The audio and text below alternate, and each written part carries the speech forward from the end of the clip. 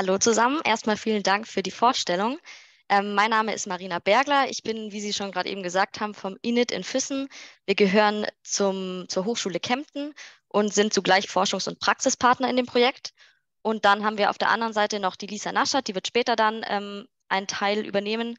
Ähm, die ist Teil des Deutschen Instituts für Tourismusforschung der Fachhochschule Westküste und die sind ebenfalls Forschungspartner im Projekt und auch für verschiedene Arbeitspakete verantwortlich. Ähm, hier sehen Sie bereits den Titel AI-basierte Recommander für nachhaltigen Tourismus. Ähm, ich möchte jetzt erstmal starten, indem ich, Moment, ich klicke einmal weiter. Genau, ähm, indem ich zuerst ein paar Infos zum Projekt generell gebe. Ähm, dann möchte ich mit den Use Cases beginnen, damit Sie einfach wissen, ähm, wo wir das Ganze umsetzen möchten, beispielhaft. Ähm, die Lisa macht dann weiter mit den ganzen Arbeitspaketen und zuletzt geht sie dann noch ein bisschen konkreter auf das Besuchermanagement ähm, mit dem KI-geschützten Recommender ein. Zunächst starte ich jetzt mal mit den Hintergrundinfos. Ähm, dazu zuerst mal ein kleines Zitat zum Visitor Management. Ähm, Sie können es gerne alle auf Englisch lesen. Ich stelle es einmal kurz auf Deutsch vor. Das Besuchermanagement zielt darauf ab, Menge, Art, Zeitpunkt und Verteilung der Nutzung sowie das Verhalten der Besucher zu beeinflussen. Zu den Maßnahmen gehören die Regulierung von Besucherzahlen, Gruppengröße und Aufenthaltsdauer, Abschreckung und Zwangsdurchsetzung, Kommunikation mit den Besuchern und Erziehung. Im Grunde ist es heutzutage ja immer noch so, dass es um eine gleichmäßigere Verteilung der Gäste geht. Ähm, damals, also in den 90er Jahren, war es aber eher noch so, dass wir das Ganze mit Abschreckung und der Durchsetzung von bestimmten Maßnahmen umsetzen wollen. Gerade in unserem Projekt und heutzutage generell wollen wir das verstärkt mit, mit Hilfe von Nudging, Information und Einsicht schaffen. Jetzt ein paar ähm, Kerninformationen zum Projekt. Ähm, wir sind im Januar letzten Jahres gestartet und ähm, das ganze Projekt läuft bis Ende Dezember 2024, sprich ähm, ein Drittel der Projektlaufzeit ist jetzt auch schon vergangen. Wir sind generell gefördert durch das Bundesministerium für Umwelt, Naturschutz, nukleare Sicherheit und Verbraucherschutz und sind ein Verbundprojekt bzw. ein Forschungsprojekt ähm, zur Erforschung und Entwicklung eines digitalen Besuchermanagements. Die Projektziele sind allgemein, dass wir nachhaltige Mobilität fördern und ähm, Entwicklung im touristischen Kontext schaffen mit Hilfe eines KI-basierten Recommenders ähm, und zudem zu einer nachhaltigeren Tourismusentwicklung ähm, durch Entzerrung von Besucherströmen beitragen. Die Forschungspartner können Sie hier auch direkt erkennen, sowie die Praxispartner. Ähm, zu den Forschungspartnern zählen die Fachhochschule Westküste, die Fachhochschule Kiel und die Hochschule Kempten, ebenso wie das NIT Kiel, also das Institut für Tourismus und Bäderforschung in Nordeuropa. Auf Seite der Praxispartner haben wir dann Outdoor Active, die Tourismusagentur Lübecker Bucht, Nordsee Tourismus Service, Ruhrtourismus, die Wintersportarena Sauerland und Sauerland Tourismus und zuletzt Füssen Tourismus und Marketing. Zu den Projektinhalten kann man grob sagen, dass ähm, der Recommender, den wir entwickeln wollen, einen Beitrag zur ökologischen, ökonomischen und sozialen Problemlösung leisten soll, indem wir vor allem Besucherströme an Hotspots entzerren und auch an in sensiblen Ökosystemen, indem wir Alternativen empfehlen und ausspielen an die Gäste und indem wir auch ressourcenschonendere und umweltverträglichere Transportalternativen vorschlagen. Jetzt sehen Sie hier einmal im Überblicksartig die Projektstruktur mit den Arbeitspaketen und den Use Cases. Ähm, nur, dass Sie es direkt wissen, es sieht sehr verlaufsartig aus bei den ähm, Arbeitspaketen. Trotzdem muss man sagen, das ist einfach grafisch, um es besser darzustellen, so gemacht. Generell laufen alle Arbeitspakete parallel. Ähm, das erste Arbeitspaket ist die Frequenzmessung mit der Datenerfassung in Sensorik. Dann in Arbeitspaket 2 haben wir die Datenbereitstellung mit einem Data Hub. Dann kommt die Modellierung und Alternativengenerierung. Als viertes haben wir dann das Touchpoint Management und Deployment. Fünftens ist dann Smart Destination Integration und zuletzt haben wir die Evaluation hier. Ähm, Arbeitspaket 7 sind dann die ganzen Use Cases. Da haben wir sechs Stück zwei in Schleswig-Holstein, das ist einmal die Nordsee und dann noch die Lübecker Bucht in, an der Ostsee. In Nordrhein-Westfalen haben wir ebenfalls zwei Stück, das ist einmal das Sauerland und einmal das Ruhrgebiet. Und zuletzt haben wir noch zwei Use Cases im Allgäu, und zwar das Naturerlebnis mit dem Hopfensee und auch die Innenstadt in Füssen. Und ganz übergreifend haben wir dann das AP8, das Projektmanagement und die Verbundkoordination. Jetzt ähm, ganz kurzer Exkurs zu On Air. Das wurde vor kurzem ins Leben gerufen. Hiermit möchten wir das ganze Projekt für andere Destinationen und Tourismusakteure öffnen, um einfach in den Austausch zu kommen zu solchen Projekten. Ähm, das Ganze läuft über Adhocracy Plus. Da können Sie gerne jederzeit ähm, mal draufklicken und gerne teilnehmen. Ähm, dafür müssten Sie sich kostenlos registrieren. Wenn Sie einfach nur lesen wollen, können Sie das jederzeit tun. Ähm, prinzipiell haben wir bisher drei Module dazu. Einmal eine Live-Online-Diskussion, die alle drei Monate stattfindet. Ähm, die Kick-Off-Veranstaltung war da vor kurzem. Die nächste folgt am 5. Mai. Dann haben wir ein Diskussionsforum, wo Sie wirklich verschiedenste Themen zum Besuchermanagement eröffnen können, Fragen teilen können, Ideen, Gedanken etc. Und zuletzt auch eine interaktive Karte, wo alle möglichen verschiedenen Projekte zum Besuchermanagement in der Dachregion veröffentlicht werden können. Falls Sie also Interesse haben, da teilzunehmen, ähm, Ihr Projekt auch ein bisschen ähm, genauer zu erklären, dann können Sie gerne am 5. Mai bei der nächsten Veranstaltung teilnehmen. Falls Sie konkreter zu Adhocacy oder diesem On-Air ähm, Fragen haben, dann können Sie sich gerne an Lisa Naschat wenden, die ist ähm, da ganz im Organisieren mit dabei. Dann starte ich jetzt mal mit den ganzen Use Cases. Ähm, Sie sehen schon, wir sind äh, über Deutschland verteilt. Also wir sind sowohl an der Küste oben im Norden, sowohl in Mitteldeutschland als auch dann im Süden vertreten. Ich starte jetzt mal von oben nach unten. Ähm, ganz als erstes haben wir die Nordsee. Ähm, das ist eine relevante Destination, weil hier ca. 19 Millionen Übernachtungen und 13 Millionen Tagesreisen pro Jahr nur stattfinden, also ganz schön viele. Ähm, dementsprechend ist es sehr relevant für unser Projekt. Äh, konkret haben wir hier sozusagen vier Unter-Use-Cases, nenne ich es immer. Ähm, wir sind hier spezifiziert auf St. Peter-Ording, Sylt, Büsum und den Speicherkog. Generell kann man sagen, die Problematik bzw. die Herausforderungen ähm, im Nordsee-Use-Case ist, dass wir hier eine sehr saisonale und ähm, wetterabhängige Überlastungssituation haben, sowohl an Orten wie Stränden oder Badestellen als auch an Indoor-Destinationen. Ähm, sprich, an anderen Orten ist zeitgleich aber noch Kapazität frei, wodurch sich eine Ungleichverteilung ergibt. Die äh, Verantwortung für diesen Use Case liegt dann bei der Nordsee Tourismus Service GmbH ähm, als zentrale Destinationsmanagement-Organisation. Als nächstes haben wir die Lübecker Bucht an der Ostsee mit mehr als drei Millionen Übernachtungen jährlich. Ähm, das Problem bzw. Herausforderungen hier ist, dass wir ebenfalls eine sehr starke ungleiche Verteilung der Menschen hier haben. Ähm, Gerade im Norden sind es eher weniger, während es im Süden stärker vertreten sind. Ähm, zum Teil haben wir hier dadurch einen starken Parksuchverkehr und auch unterschiedliche Auslastungen von Freizeiteinrichtungen inklusive der Strände, während andere Orte dementsprechend noch Kapazitäten frei haben. Die Verantwortung für diesen Use Case hat dann die Tourismusagentur Lübecker Bucht. Als nächstes kommen wir dann nach Nordrhein-Westfalen in das Sauerland. Ähm, das Sauerland gehört zu den beliebtesten Kurzreisezielen Deutschlands und wir haben das dann für unser Projekt sozusagen gesplittet. Wir haben einmal eine, einen Sommer-Use-Case mit den Sauerländer Seen, die Sie auf der Karte erkennen können. Und zum anderen haben wir die Skigebiete für den Winter-Use-Case. Die Herausforderungen im Sommer sind, dass wir häufig überfüllte Parkplätze, Liegewiesen und Wanderwege haben an diesen fünf Seen, die Sie links erkennen können. Und im Sommer, äh, Entschuldigung, im Winter ist es so, wir haben da einen sehr starken Besucherstrom an Wochenenden und in der Ferienzeit, wodurch es zu starken Verkehrsüberlastungen kommt und ebenso auch zu Staus auf den Hauptzufahrtswegen zu den Winterskigebieten. Die Verantwortung für diese beiden Use Cases liegt bei der Wintersportarena Sauerland, Siegerland Wittgenstein und dem Sauerland Tourismus e.V. Dann kommen wir noch zum Ruhrgebiet. Ähm, 2019 gab es hier 1,9 Millionen radtouristische Aufenthaltstage in der Metropole Ruhr. Ähm, Im Spezifischen wichtig für unseren Use Case ist der 240 Kilometer lange Ruhrtal-Radweg. Insbesondere die Strecke, die Sie hier auf der Karte sehen können, also zwischen dem Baldeneysee und dem Chemnader See. Die Herausforderung hier ist, dass wir auf vielen Strecken eine sehr hohe Besucherfrequenz haben, insbesondere an Feiertagswochenenden im Frühjahr oder auch in Schulferien. Ähm, dementsprechend kommt es dann zu Nut Nutzungskonflikten sowohl innerhalb der radtouristischen Zielgruppe als auch mit anderen Nutzergruppen. Die Verantwortung für diesen Use Case liegt bei der, Tour bei der Ruhrtourismus GmbH als Dachmarke für den Radurlaub im Ruhrgebiet. Und jetzt kommen wir auch schon zum Use Case 5 und 6, also dem Allgäu, ähm, in dem ich dann zum Beispiel involviert bin. Sprich, wenn da konkretere Fragen aufkommen können, kann ich die definitiv hoffentlich auch beantworten. Ähm, Sie sehen schon, wir liegen an der Grenze zu Österreich ähm, und bilden mit Füssen den Übergang von der Allgäuer Voralpenlandschaft in die Hochalpen und liegen konkret gesagt im Ostallgäu. Das Allgäu generell ist eine sehr wichtige, wichtige Tourismusregion in Deutschland. Wir haben einen stetigen Anstieg der Gästezahlen. Wenn wir jetzt auch hier mit Zahlen vor Corona sprechen, hatten wir in 2019 ein Rekordhoch von mehr als vier Millionen Besuchern.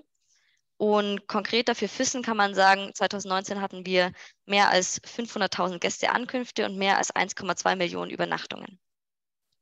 Dass Füssen ein Touristen-Hotspot ist, liegt vor allem an den Königsschlössern, also zum Beispiel Neuschwanstein, der Lage am Alpenrand und im Seengebiet sowie dem Festspielhaus Füssen und der historischen Altstadt. Wir haben hier also zwei Use Cases. Ich habe es jetzt nur aufgrund der geografischen Nähe zusammengefasst. Ähm, wir haben einmal den Innenstadt-Use Case mit Füssen und einmal den ländlichen Use Case mit dem Hopfensee, der ähm, ein bisschen nördlich davon liegt. Ähm, die Probleme oder Herausforderungen für die Füssener Innenstadt oder auch Altstadt äh, ist insbesondere, dass diese vergleichsweise klein ist und dann durch hochfrequentierte Straßen eingeschlossen wird, wodurch sich gerade im Sommer ähm, extrem dichte Besucherströme ergeben und es auch zu vielen Staus und zu viel Parksuchverkehr kommt. Ähm, am Hopfensee kommt es ebenfalls zu Nutzungskonflikten, zu einer hohen Besucherdichte und ebenfalls zu viel Parksuchverkehr. Die Verantwortung für diesen Use Case liegt, wie ich schon gesagt habe, bei uns, also beim INIT Füssen, der Hochschule Kempten und wir werden hier sehr gut unterstützt von Füssen Tourismus und Marketing. Um jetzt mal den Use Case Abschnitt kurz zusammenzufassen, kann man sagen, wir haben, ähm, wie Sie allein schon geografisch gesehen haben, eine sehr heterogene Zusammenstellung der Use Cases. Ähm, wir haben alles von Küstengebieten über ein Rad-Use Case, ein Wintersportgebiet über Seen bis hin zu einer Voralpenlandschaft und zeigen somit einen sehr guten Deu äh, Querschnitt deutscher Destinationen und haben hiermit also eine sehr beispielhafte ähm, Darstellung von Anwendungsfällen für die verschiedensten Arten von Destinationen. Dementsprechend ergeben sich auch die verschiedensten Arten von Herausforderungen. Also es geht von belebten Innenstädten über Verkehrsprobleme bis hin zu überfüllten Stränden. Damit darf ich auch schon abgeben an meine Kollegin Lisa Naschert, die jetzt mit den anderen Arbeitspaketen weitermachen wird.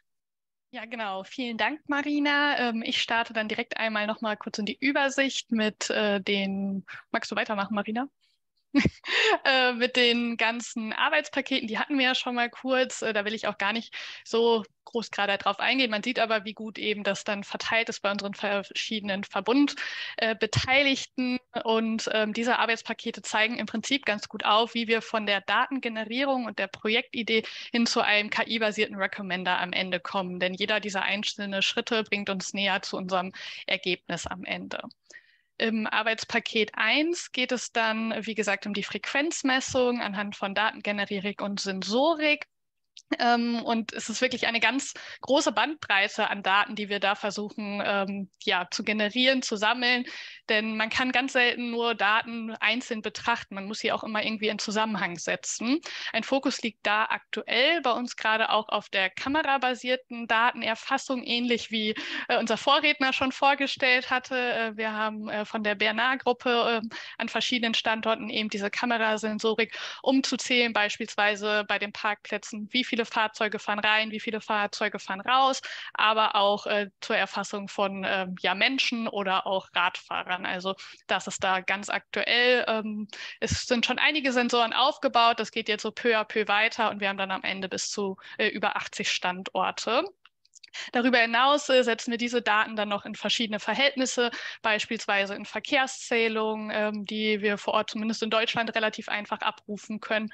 Und ein nächster Punkt ist dann noch zusätzlich globale Daten einzukaufen, das heißt Smartphone-Data ähm, und sonstige globale Daten, um einfach wirklich noch besser die Besucherströme verstehen zu können und im Anschluss daran Besucherstromprofile erstellen zu können. Wir haben jetzt aber auch äh, festgestellt, ähm, die Zahlen bringen uns allein nicht nur so, nicht so viel. Also wenn wir sagen, 1000 Personen waren an dem und dem Tag an dem Standort, muss das natürlich auch irgendwie ein bisschen damit in Verhältnis gesetzt werden, ob die Leute das auch wirklich als äh, voll wahrgenommen haben oder nicht, sodass jetzt zusätzlich nochmal neue Daten mit kurzen Befragungen vor Ort erheben werden sollen, sobald dann überall die Sensorik läuft ist es in diesem Zusammenhang sehr, sehr, wichtig, einfach das große Ganze zu sehen, die Daten immer im Verhältnis zu setzen und äh, immer zu schauen, äh, was für Parameter haben Einfluss gehabt. Beispielsweise das Wetter wird betrachtet, Ferientage müssen betrachtet werden oder auch ähm, ja, Veranstaltungen. Kurz noch, ich glaube, mein Vorredner hat es auch angesprochen, worauf wir halt auch gestoßen sind im Laufe dieser Zeit, sind natürlich solche Dinge wie Datenschutz, äh, der beachtet werden muss. Ähm, aber auch verschiedenste Genehmigungen sind wichtig einzuholen. Gerade bei Kamerasensorik spielt auch die Stromversorgung eine Rolle. Also es ist ein sehr komplexes Thema, aber Daten spielen bei uns im Projekt eine wesentliche Rolle und bilden eigentlich die Grundlage für alles, sodass äh, wir da natürlich auch auf unseren Fokus drauf legen. Im Arbeitspaket 2 geht es dann äh, um die Datenbereitstellung und ein Data Hub. Ähm, das Ziel in diesem Datenpaket ist dann, die, äh, te den technischen Zugang zu allen für das Projekt relevanten Daten über eine offene digitale Dateninfrastruktur zu ermöglichen. Denn nur dadurch wird wirklich die notwendige Grundlage für unsere späteren KI-gestützten Verfahren gelegt. Und diese brauchen wir, um eben Prognosen und Alternativen generieren zu können. Es ist dabei ganz besonders wichtig zu schauen, was sind die technischen Anforderungen von den Datenströmen, ähm, sind diese Daten statist, äh, statisch oder dynamisch. Dann ist natürlich, denke ich, ein wichtiges Wort im aktuell, in der aktuellen Diskussion zur, ähm, zu Daten ist natürlich die Standardisierung der genutzten Daten und auch einfach Open Data Standards, um auch den Projekterfolg nachhaltig nutzen zu können und auch die Daten nachhaltig nutzen zu können. Worum wir uns dann auch kümmern oder womit wir uns beschäftigen, ist natürlich, in was für einer Granularität müssen die Daten vorliegen, in was für einer Aggregation müssen wir sie abrufen. Also da gibt es relativ komplexe Themen, die ähm, zu, zum Glück von unseren Data Scientists, da gehöre ich jetzt nicht zu, aber wir haben ja ein gutes Kompetenzteam ähm, ja bearbeitet und äh, analysiert werden. Natürlich ist es auch wichtig zu schauen, dass die Daten langfristig verfügbar sind, äh, in einer bestimmten Qualität vorliegen. Und alles führt dann wirklich dazu, dass wir sowohl bei uns im Projekt als auch über unsere Projektgrenzen hinaus zukünftig diese Daten nutzbar machen wollen. Und Stand jetzt passiert das eben, indem wir einen Knowledge Graphen nutzen, um die, da, die Daten da einzupflegen. Im dritten Arbeitspaket geht es dann um die Modellierung und Alternativengenerierung, womit wir dann durch die Datensammlung und äh, die Datenbereitstellung schon eine große Grundlage, ähm, jetzt ist die Präsentation gerade weg, äh, Grund, das scheint gerade abgestürzt zu sein. Ich bin gleich wieder da. Okay, ich äh, würde genau da mal weiter machen. genau. Ähm, das heißt, äh, mit dieser Modellierung und Alternativengenerierung, da geht es darum, dass wir äh, KI-gestützte Verfahren eben entwickeln und ähm, dadurch eben unsere Auslastungsprognose machen können. Ich bin jetzt gerade im Überlegen, ob ich mal eben mein äh, achso, da kommt wieder, wieder sichtbar sein, hoffe ich. Genau, jetzt ist es wieder sichtbar. Genau, sodass wir dann ähm, eben diese KI-geschützten Verfahren entwickeln. Dafür ist es wichtig, dass wir eben am Anfang einfach diese Daten über die Dateninfrastruktur bereitgestellt haben und die ähm, Daten dort in standardisierter Form zusammengetragen werden. Und ja, Grundlage oder Ergebnis vielmehr dieses Arbeitspaket ist es dann eben, dass wir am Ende wirklich diese Prognosen haben und diese Alter die Alternativen. Wichtig dabei ist wirklich darauf zu achten, ich kann es nur oft genug betonen, dass die Qualität stimmt, ähm, dass die, ähm, ja, die Bereinigung der Daten stimmt, dass da einfach auch viele, äh, ja, die Daten einfach wirklich eine gute Grundlage bieten und die Modelle entsprechend fehlerfrei nachher funktionieren können. Im Arbeitspaket 4 geht es dann um das Touchpoint-Management beziehungsweise das Deployment. Ähm, da ist meine Kollegin Marina Bergler auch äh, intensiv mit dabei. Also wenn es da spezifische Fragen zu gibt, gerne auch Sie kontaktieren. Denn für uns ist natürlich wichtig, uns nützen die besten Modelle und die ähm, aussagekräftigsten Daten relativ wenig, wenn die Informationen nachher nicht bei den Gästen ankommen. Das heißt, wir müssen herausfinden, wo unsere Daten und unsere Prognosen viel mehr ausgespielt werden müssen. Und um das herauszufinden, gibt es äh, bei uns im Projekt Projekt im Prinzip zwei Säulen.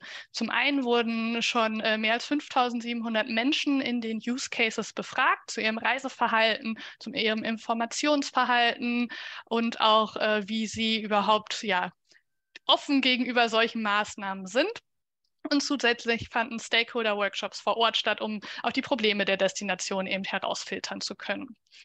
Ähm, das äh, wäre da dann einfach nochmal die Grundlage, um zu schauen oder um ja diese Bedarfsanalyse durchzuführen, wo wollen wir nachher hin. Es stellt sich natürlich immer die Frage, wollen wir eine eigene App, PWA vielleicht auch, oder können die Modelle nachher über eine iFrame irgendwo ausgespielt werden? Äh, ich glaube, das sind in vielen Destinationen gerade aktuelle Themen, wo man einfach schauen muss, wie kommen wir am besten an die Gäste dran. Ähm, genau, im nächsten Projekt äh, oder im nächsten Arbeitspaket geht es äh, ganz kurz einmal zur Smart Destination Integration, weil, wie schon erwähnt, es ist uns wichtig, dass das Projekt nicht nur in den sechs Use Cases nachher ähm, ja, genutzt werden kann, beziehungsweise die Erkenntnisse, die wir gewonnen haben und aber auch, dass unser Datenaustausch mit anderen ja, Ökosystemen, digitalen Ökosystemen funktioniert und ähm, wir da auch verschiedene Informationstechnologien für uns systematisieren ähm, sodass wir da im kontinuierlichen Austausch sind. Und wie meine Kollegin schon erwähnt hatte, gibt es da die ähm, Adhocracy-Plattform, wo ähm, wir Sie alle gerne zu einladen. Ich muss dazu sagen, es ist auf Deutsch und auch der Austausch wird auf Deutsch stattfinden, sodass es vermutlich eben nur für die ja, deutschsprachigen Teilnehmer heute ähm, von Interesse sein wird. Aber auch darüber ähm, ja, kann man natürlich viel Mehrwert generieren. Im Evaluationsarbeitspaket geht es dann, da will ich nur ganz kurz einmal was zu sagen, ähm, ja darum einfach die Maßnahmen, die wir mit der Zeit jetzt etablieren, auch immer ja, zu prüfen. Funktioniert das, dass wir die Leute natschen, ohne jetzt ähm, viel zu ja, verbieten etc. Ich kann da gerade noch gar nicht so viel zu sagen. Wie gesagt, wir laufen seit einem Jahr und ähm, sind natürlich gerade dabei, die ersten Daten zu sammeln, die ersten Daten ähm, auch zu analysieren. Aber bis da dann jetzt wirklich die Modelle entstehen, wird es noch eine Weile dauern, sodass wir dann auch erst evaluieren können natürlich.